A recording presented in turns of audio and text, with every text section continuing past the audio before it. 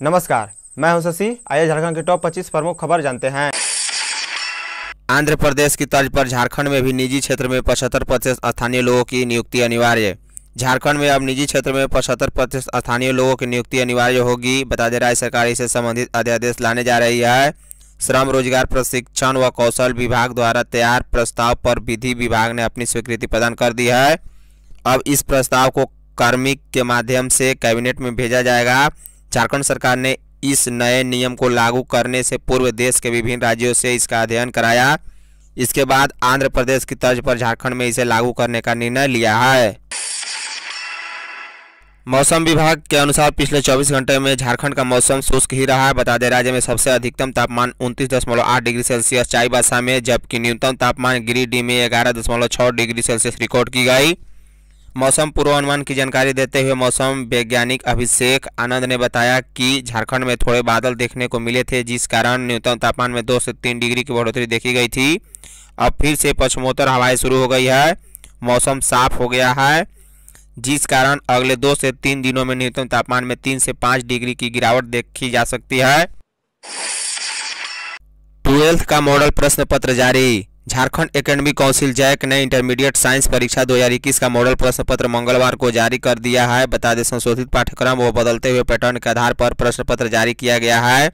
गणित, भौतिकी, रसायन व जीव विज्ञान विषय का मॉडल सेट प्रश्न पत्र जारी किया गया।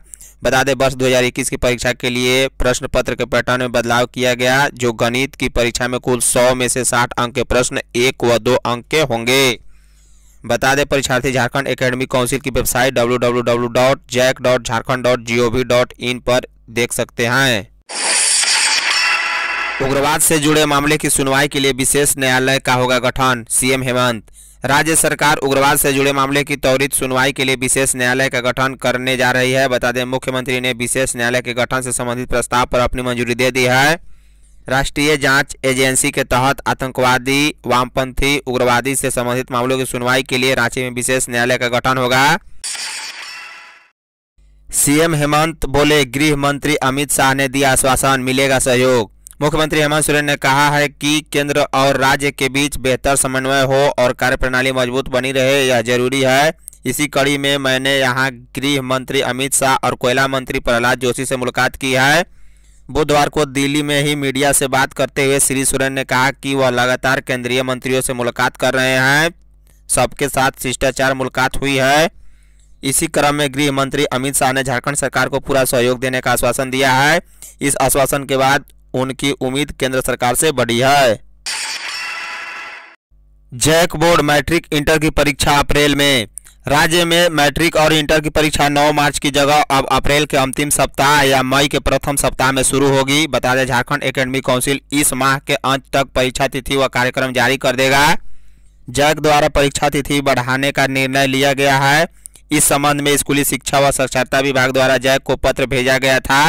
बता दें, शिक्षा विभाग ने झारखंड एकेडमिक काउंसिल से इस संबंध में समीक्षा करने को कहा था। मैट्रिक व इंटर की परीक्षा को लेकर मंगलवार को जैक के अध्यक्ष डॉक्टर अरविंद प्रसाद सिंह और शिक्षा सचिव राहुल शर्मा ने विचार विमर्श किया। इसमें परीक्षा की तिथि बढ़ाने व संभावित तिथि पर विचार किया गया। रांची से 10 जोड़ी ट्रेन का परिचालन जल्द। रेल यात्रा करने वालों के लिए खुशखबरी है, बता दें रांची और हटिया रेलवे स्टेशन से जल्द ही 10 जोड़ी ट्रेन का परिचालन शुरू होने वाला है। रेलवे बोर्ड ने रांची रेल मंडल से महत्वपूर्ण ट्रेनों की सूची मांगी थी, जिन्हें जल्द ही पटरी पर दौड़ाया जाना है। इस पर जनवरी के पहले हफ़्ते में ही रांची रेल मंडल ने 10 जोड़ी ट्रेनों की सूची रेलवे बोर्ड को भेजी थी। अब यह ट्रेनें जल्द ही चलाई जाएगी। इसमें रांची, नई दिल्ली, गरीब रथ रांची, अजमेर स्पेशल ट्रेन शामिल है। ओरमांझी हत्याकांड, बेलाल की जेल में कैदियों ने की जमकर पिटाई। बिरसा मुंडा केंद्रीय कारा में बंद, सूफिया परवीन हत्याकांड के मुख्य आरोपित शेख बेलाल की जेल में कैदियों ने जमकर धुनाई कर दी। जेल सूत्रों के हवाले से मिली जानकारी के मुताबिक मंगलवार देर शाम कैदियों ने बिलाल की पिटाई कर दी। जेल सूत्रों की माने तो बिलाल को जेल के बाकी कैदी घृणित नज़र से देख रहे हैं।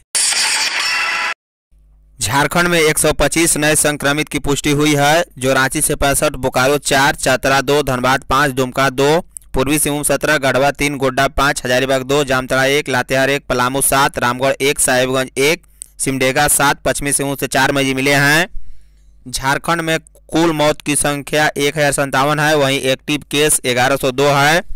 भारत में नए केस 15,270 मिले हैं। भारत में कुल मौत की संख्या एक लाख बावन हज़ार नौ सौ छः है वहीं एक्टिव केस एक लाख नवासी हज़ार दो सौ पैंतालीस है। दो बच्चे सबके लिए पर रघुवर दास ने किया हस्ताक्षर। जनसंख्या समाधान फाउंडेशन झारखंड टीम के द्वारा दो बच्चे सबके लिए अभियान का संचालन किया जा रहा है। बता दें इस अभियान के तहत केंद्र सरकार से इसे लागू करने की मांग की जा रही है। अभियान के समर्थन में पूरे झारखंड प्रदेश में हस्ताक्षर अभियान चलाया जा रहा है। इस क्रम में जेएसएफ की टीम पूर्व मुख्यमंत्री व भाजपा के राष्ट्रीय उपाध्यक्ष रघुवर दास से मिली। पूर्व मुख्यमंत्री रघुवर दास ने हस्ताक्षर कर अभियान को अपना समर्थन दिया जनता की समस्याओं का होगा निराकरण, मंत्री उराव। झारखंड सरकार के मंत्री सह लोहरदगा के विधायक डॉक्टर रामेश्वर उराव ने बुधवार को लोहरदगा शहरी क्षेत्र के बरवा टोली स्थित कार्यालय में जनता दरबार लगाकर जन समस्याएँ सुनी। मंत्री के समक्ष विधानसभा क्षेत्र के सैकड़ों ग्रामीणों ने अपनी समस्याएँ रखी, साथ ही अपनी अपनी समस्याओं को लेकर लिखित आवेदन भी दिया, जिसमें राजस्व विभाग, जन वितरण, पेयजल पूर्ति जेएसएलपीएस सड़क बिजली, आंगनबाड़ी, आवास योजना, कृषि एवं अन्य विभागों के कई गंभीर मामले को रखा। इसमें सर्वाधिक अंचल से संबंधित शिकायतें आई। झारखंड में छह साल में तीन सौ पैंसठ बच्चों को परिवार ने फेंका। झारखंड में छह साल में कम से कम तीन सौ पैंसठ बच्चों को जन्म के बाद उन्हें जन्म देने वालों ने और उनके परिजनों ने फेंक दिया। इनमें से 209 बच्चों की मौत हो गई। वहीं स्थानीय लोगों, सामाजिक संगठनों और प्रशासन की मदद से एक बच्चों की जान बच गई। बता दें, इनमें बेटे और बेटियाँ दोनों हैं। परित्याग का शिकार हुए ऐसे बच्चों की संख्या इससे कहीं अधिक है। लेकिन रिकॉर्ड में अब तक इतने ही मामले सामने आए हैं। नहीं, सुलझी मेडिकल छात्रा पूजा की मर्डर हिस्ट्री।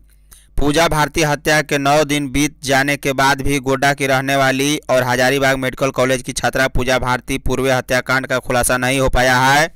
बता दें, पतरातू डैम में हाथ पैर बांधकर ज़िंदा डुबोकर मारी गई पूजा के हत्या की गुत्थी अब भी अनसुलझी है। हालाँकि इस मामले में राज्य के प्रभारी डीजीपी एम बी राव का बहत्तर घंटे में हत्या का राज पर्दाफाश करने का दावा भी फेल हो गया है। रामगढ़ पुलिस के एक अधिकारी ने इस मामले में खुलासा किया है कि मेडिकल छात्रा पूजा भारती की हत्या कहीं और की गई और उसका लाश ठिकाने लगाने के लिए पतरातू डैम में डाल दिया गया। सोशल मीडिया पर पैनी नज़र रखे एसएसपी, एसपी। राज्य के प्रभारी डीजीपी एम बी राव ने बुधवार को सभी जिलों के एसएसपी, एसपी व रेंज डीआईजी के साथ वीडियो कॉन्फ्रेंसिंग की। उन्होंने सभी जिलों को यह आदेश दिया है कि इंटरनेट मीडिया पर अफवाह फैलाने वालों पर नज़र रखे और ऐसे लोगों पर कानून सम्मत कार्रवाई करे। उन्होंने अवैध शराब सहित अन्य नशीले पदार्थ व अवैध हथियार के विरुद्ध अभियान चलाने का भी आदेश दिया कृषि कानूनों को वापस ले केंद्र सरकार, मुख्यमंत्री। मुख्यमंत्री हेमंत सोरेन ने एक बार फिर किसान आंदोलन के समर्थन में नए कृषि कानूनों को वापस लेने की बात कही है। उन्होंने कहा कि किसानों का इतना बड़ा समूह आर पार की लड़ाई की बात कर रहा है। क्या लोकतंत्र में जन भावना की कोई कद्र नहीं है? पिछले कई दिनों से सड़क पर उतरकर आंदोलन कर रहे किसानों के मसले पर हेमंत ने कहा कि केंद्र सरकार में शामिल लोग समस्या का समाधान निकालना चाहेंगे तो क्यों नहीं निकलेगा? जल सहिया भूख हड़ताल पर बैठी। झारखंड प्रदेश जल सहिया संघ की जिला इकाई ने बुधवार को खिजूरिया स्थित विधायक बसंत सोरेन के आवास के समक्ष भूख हड़ताल की। कार्यक्रम की अध्यक्षता जिला अध्यक्ष जरीना खातून ने की। जिला अध्यक्ष खातून ने कहा कि सरकार ने प्रदेश के सभी जल सहिया को फरवरी 2019 से न्यूनतम मानदेय एक हज़ार रुपये प्रति माह देने की घोषणा की थी। पूर्ववर्ती सरकार के समय जल सहिया को तीन हज़ार से छह हज़ार के बीच मानदेय दिया गया था, लेकिन नई सरकार के गठन के बाद 20 माह से जल सहिया को मानदेय नहीं दिया गया है। जल सहियाओं ने दुमका के विधायक से मांग की है कि सरकार के पास मांगों को रखे व बकाया मानदेय भुगतान करवाया जाए। खेतों की हरियाली के लिए सरकार कर रही काम, मंत्री बादल। केरेडारी ब्लॉक परिसर मैदान में बुधवार को कृषि मेला का आयोजन किया गया। मुख्य अतिथि राज्य कृषि मंत्री बादल पत्रलेख ने फीता काटकर मेला का उद्घाटन किया। कृषि मंत्री पत्रलेख ने कहा कि कृषि क्षेत्र में किसान भाइयों की अहम भूमिका रहती है। अच्छे से अच्छे बीज कब आए? एवं कटाई से कृषि क्षेत्र में हरियाली लाने का कार्य कृषि पर निर्भर करता है, उन्होंने कहा कि हेमंत सरकार झारखंड में किसान भाइयों को कृषि लोन तथा खेतों में होने वाले नुकसान की भरपाई और मुआवजा देने का कार्य कर रही है। साथ ही कृषि के क्षेत्र में सरकार बहुत बड़े बड़े कार्य कर रही है, जिससे किसानों के खेतों में हरियाली सदा बनी रहे। धन्यवाद। आज के लिए बस इतना ही। कल से आपको 25 खबरें मिलेंगे। तो वीडियो को एक लाइक कर अपने दोस्तों के साथ शेयर करना ना भूले। साथ ही साथ आप कमेंट बॉक्स में हमें अपना फीडबैक अवश्य दें। Thank you